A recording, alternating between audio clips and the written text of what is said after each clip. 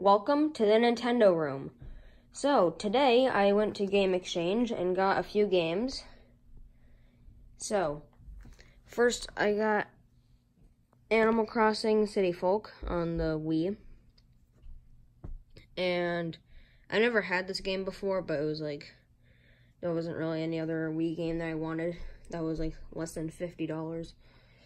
Um, and then there's also Skylander Swap Force, and I already had this, but like the disc was like scratched, and I just got a new one since it was only like one dollar. And then I bought three Disney Infinity figures. We have um Violet from um The Incredibles, and then Phineas from Phineas and Ferb, and then we have Joy from Disney Infinity 3.0 from Inside Out. And I just got those um, and I just got these five things. There's all three of them. I mean, all, all five of them there. Just taking a screenshot for the thumbnail.